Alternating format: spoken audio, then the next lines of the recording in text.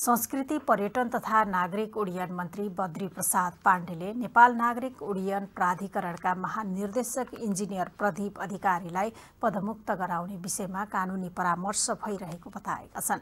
Air डाइनेस्टिकको हवाई जहाज दुर्घटनाका विषयमा बिहिबार सिंहदरबारमा बसेको प्रतिनिधि सभा अन्तर्गतको अन्तर्राष्ट्रिय सम्बन्ध तथा पर्यटन समितिको बैठकमा सांसदहरूले उठाएका प्रश्नको जवाब दिने क्रममा मन्त्री पाण्डेले सो कुरा बताएका हुन्।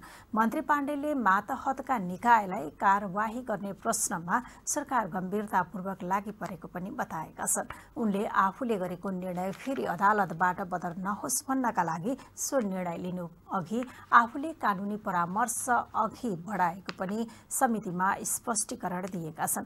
मन्त्री पाण्डेले नैतिकता लाद्ने विषय नभएको हुनाले त्यसमा जिम्मेवार व्यक्ति आफै सचेत हुनुपर्ने बताएका छन्। समितिको बैठकमा सांसदहरूले महानिर्देशक अधिकारीलाई पदमुक्त गरेर मात्रै छानबिन प्रक्रिया अघि बढाउन सरकारलाई सुझाव दिएका थिए। मन्त्री पाण्डेले संसद र संसदीय समितिले दिएको निर्देशन अनुसार सरकार चल्नुपर्ने भएकोले पनि समितिको निर्देशन आफूहरूले पालना गरेर अघि बढ्ने बताएका छन्।